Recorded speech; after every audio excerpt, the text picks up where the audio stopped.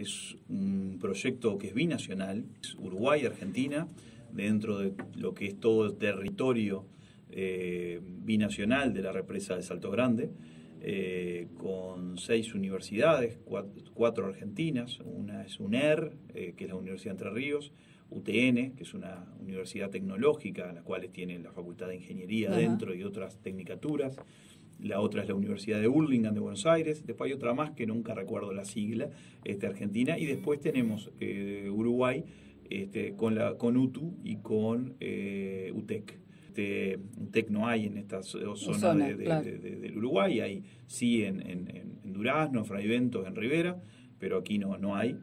Forman parte del proyecto y van a estar adentro, de, este, funcionando dentro de, eh, del complejo o el territorio binacional que, hace a la Represto Grande, con docentes, muchos de ellos que hoy este, son este, funcionarios de Salto Grande, y, dan, y son docentes fuera en cada una de estas universidades y también con docentes de afuera de, lo que es el complejo hidroeléctrico. Creemos que es muy importante, eh, tiene esa particularidad de binacional, que no es algo común. Eh, si bien vemos en Rivera, por ejemplo, que la UTEC tiene una tecnicatura que es binacional y es de los dos, acá también en, Salto, en Laudelar han habido algunas tecnicaturas binacionales, pero que esté funcionando en un territorio binacional y y con seis este, universidades adentro es algo eh, atípico. ¿Y, eso eh, necesita nuevos edificios? ¿Hay no, espacios? Justamente, a ver, lo que surge en todo esto es dos cosas. Una, que había eh, espacio, infraestructura que es subutilizada. Este, tiene dos hermosos anfiteatros que son de los más grandes de la región, este, que se usan pocas veces al año. Este, y una de las, de las tareas o de las cosas que queríamos nosotros es darle utilidad a esos anfiteatros, pero a su vez también tiene este, recursos humanos. ¿eh? Como decíamos, eh, hay muchos docentes que dan fuera de horario, de, este, diferentes, este, en diferentes universidades de la región, dan clase, este, bueno, hoy van a poder estar en territorio con sus alumnos y sobre todo que se viene la renovación Salto Grande, que ya empezó el año pasado, pero que son 30 años y vas a poder preparar a muchos de estos jóvenes que van a terminar trabajando ahí este, en, en, ese es otro punto. ¿Qué este, es lo que se va a enseñar ahí? ¿Qué van a enseñar acá tenés todo tipo, a ver, eh, sobre todo va más por lo que tiene que ver con la parte científica. Eh, desde la Facultad de Ingeniería, eh, de UTN, por ejemplo, Argentina, a lo que pueden ser tecnicaturas de nueve meses eh, y preparar gente, por ejemplo, en el teletrabajo. ¿eh? Este, jóvenes y no tan jóvenes, porque es el trabajo del futuro eh, y hay muchas personas que tienen que empezar a reconvertirse, porque, a ver, uno, yo lo leí dos veces al libro de Oppenheimer, Sálvese quien pueda, y el otro día lo escucho a veces los domingos cuando puedo en, su programa CNN, y él hablaba, bueno, este libro habla de tantos años y esto de la pandemia apuró y acortó mucho los plazos y los tiempos. Hoy en Salto vos tenés 10 empresas trabajando para el mundo mm. y uno de los problemas que tienen es la falta de recursos humanos. Y hay que preparar a nuestros jóvenes para esto. Estamos en un departamento que, es, eh, tiene el índice de, desocupación mayor en menores de 29 años. Entonces tenemos que, trabajar a los jóvenes y a los no tan jóvenes en todo este tipo de cosas. Entonces va a tener desde tecnicaturas a, diferentes carreras que tiene la UTU. Eh, la UTEC que tuvimos la reunión con ellos y les gustó muchísimo y el hecho de poder instalarse en un lugar de estos eh, les llama mucho la atención y está bueno. Ellos tienen las carreras de logística, mecatrónica, robótica, sistemas, pero a su vez también hay algo que decía su, su, su principal, su director, que dice, bueno, acá la UTEC lo que quiere es amoldarse al medio que va. O sea, no que el medio se amolde la UTEC, sino poder amoldarnos y por ahí ver diferentes carreras o diferentes cursos de determinada manera. Entonces eso está muy bueno. Tuvimos reunidos con, a ver, hay mucho avidez por este tema. Tuvimos reunidos con IBM, estuvimos reunidos con Cisco, estuvimos reunidos con Huawei, esa empresa china, y tienen mucho interés todos en estos temas. Tuvimos reunidos en INEFOP, que acaba de firmar un convenio que ustedes vieron con Microsoft para cursos, y bueno, y ellos quieren también estar y ser parte de este polo. Porque también acaba una cosa más. ¿Qué va? Y eso lo estuvimos hablando con el centro comercial acá, tuvimos con ANDE reunidos en Montevideo y también, por supuesto, decíamos con INEFOP, todo el tema de los emprendedores, todo el tema de eh, las incubadoras, que queremos de alguna manera instalarlas ahí. Y ahí también entran empresas extranjeras que tienen interés, sobre todo porque tienen sus filiales en Buenos Aires y en Montevideo y les interesa tener una única binacional acá. Y que es lo que nosotros tenemos que potenciar y ver y realmente trabajar. Cuando hablamos de desarrollo regional, es esto. Esto es el desarrollo regional. Entonces hay que apuntar a eso. Y hay interés, que tuvimos una, em, eh, por Zoom, una conferencia de 40, 45 minutos con la OEA, con su principal, Luis Almagro, en las cuales le gustó muchísimo esto, este, y, va a estar, este, se va a estar firmando un convenio.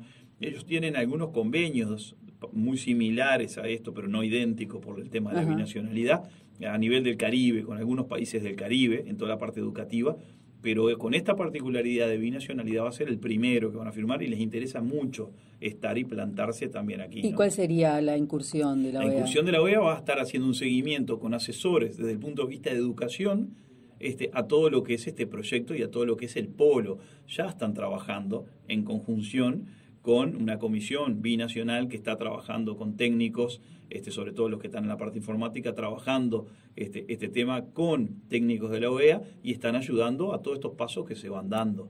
Este, entonces nos parece muy importante. Y lo otro que también la OEA quiere colaborar es con algunas universidades, sobre todo americanas, que tendrían interés de, eh, a través de, cursos a distancia, de preparar a nuestra gente también en determinadas este, cursos y determinadas características que complementarían muchas cosas de estas. Entre ellos, por ejemplo, este, universidades como la de Massachusetts, ¿ah? este, eh, que realmente sería algo este, impensado. Y yo creo que la característica de la binacionalidad le da un plus para el que mira de afuera que no es eh, lo normal, ¿no? Este no es algo que se dé habitualmente, este tipo de cosas. Entonces me parece que también, pero también hay otra cosa. Hoy hay una atención puesta en lo que es la renovación salto grande de muchos países, Estados Unidos, este, Rusia, eh, la China, eh, Ucrania, Canadá, este, porque realmente va a haber dos cosas. Una, para tratar de, ser proveedores, por ejemplo, de lo que va a ser toda la inversión que se va a hacer. Recordemos que es una inversión de 1.500 millones de dólares en los próximos 30 años. Y segundo, por la particularidad que va a tener. Vos prácticamente vas a hacer una represa, pero con una represa funcionando. A diferencia de hace 42 años prácticamente, que se hizo de ser una represa, toda la obra civil, colocar todo pero en esta tiene la particularidad de esa, la vas a ir haciendo de a poco con una represa funcionando. Entonces eso tiene también, desde el punto de vista tecnológico, científico, del aprendizaje, toda una característica. Entonces, bueno, este, nosotros eso es un llamador que lo estamos bien utilizando para todos aquellos que están interesados de, bueno, decir, bueno, acá hay un lugar para, para bueno, instalarse este, y, ser parte de, este gran proyecto que, que, nosotros estamos convencidos, y esto lo hablábamos con el gobernador de Entre Ríos, con Bordet, el 19 de junio, el feriado nuestro, que estuvimos reunidos este, en Salto Grande, este, justamente hablando de este tema, que es un proyecto que, que les gustó mucho, gustó mucho, y sobre todo es importante, Estela, por algo.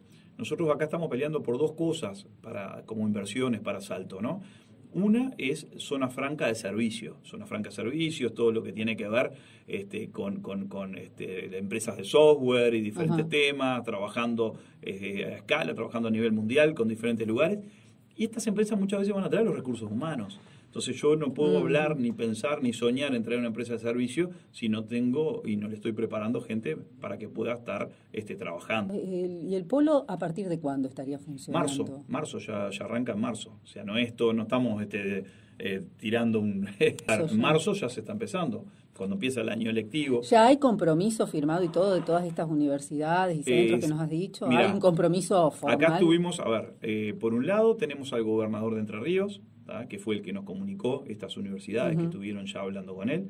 Por otro lado, nosotros del lado uruguayo tuvimos la reunión con el ministro de Educación, Pablo da Silveira, con el director nacional de Educación, este, Gonzalo Baroni, con el presidente de la calle, en los cuales todos dieron el aval. Tuvimos la reunión con la UTEC y a través del Ministerio de, Educación se está viendo con la UTU, que ya tiene adentro de Salto Grande algún curso pero más son pasantías y hay un tema ahí, pero nosotros queremos de alguna manera ciertos cursos poder este, radicarlos ahí.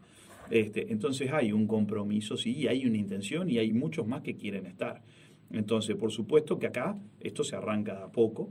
eh, se quiere ya arrancar con algunos cursos. Por ahí, sobre todo, y pensando en UTN, que está muy radicada ya en, Concordia y, el 90% de los docentes pertenecen a este, y trabajan en, Salto Grande, por lo que nos decían, de algunas carreras ya poder también instalarla. Recordemos que acá tenemos muchos jóvenes que, que tienen que irse a Montevideo para hacer mm. una facultad de ingeniería y aquellos que pueden, otros quedan ahí. Y sobre todo también va a pasar algo.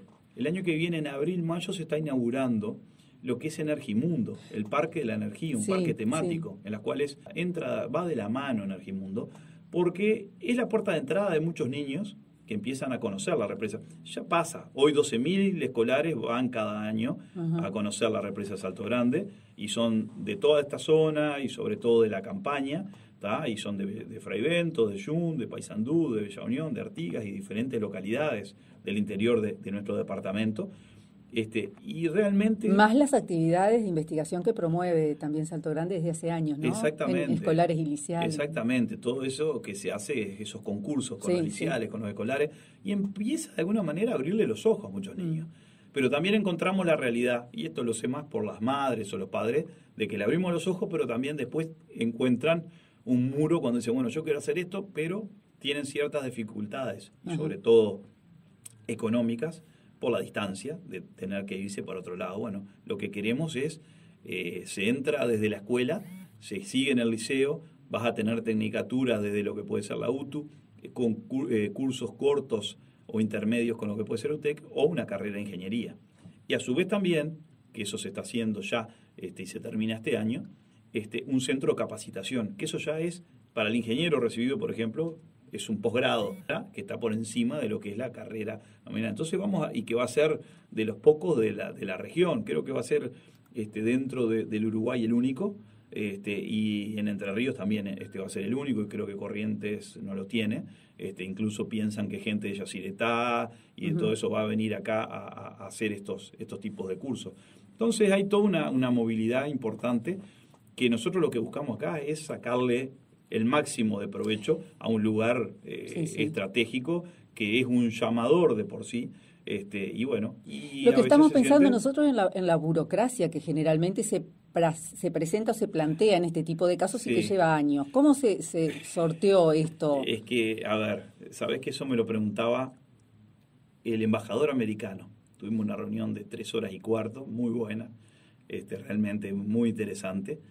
Y cuando él me preguntaba eso, quería entender lo que era Salto Grande, cómo era. Por ejemplo, hablábamos de la esclusa y él veía el mapa y veía un video. Decía, pero están en Argentina. Le decimos, no, esto es territorio binacional.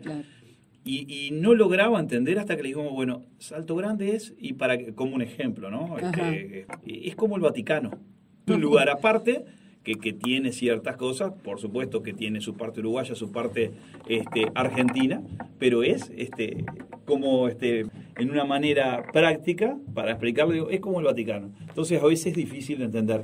Y es operativamente cierta burocracia que uno ve eh, en algunos lugares del Estado, acá esto es más operativo, ¿no? Para los que somos un poco ansiosos y nos gusta hacer cosas, este, el desarrollo regional es clave. Eh, también hoy eh, vemos que del lado argentino tenés de los tres delegados, dos son de Concordia, el otro es de Gualeguaychú. Entonces eso, eso, eso no es un tema menor este, a la hora de, tomar decisiones que hacen al desarrollo regional. Eh, hoy en el, eh, del lado uruguayo estamos nosotros de Salto, está mm. Daniel Arcieri de Paysandú, y seguramente quien sea el delegado o la delegada este, que, venga este, cuando, cuando vaya a entrar, este, va a ser este, salteña. Entonces, este, me parece que, eso es, muy importante, muy importante. Este, y, bueno, hay que aprovechar cuando dicen, como dicen siempre, cuando se alinean los astros en esto, este, hacer temas regionales es fundamental.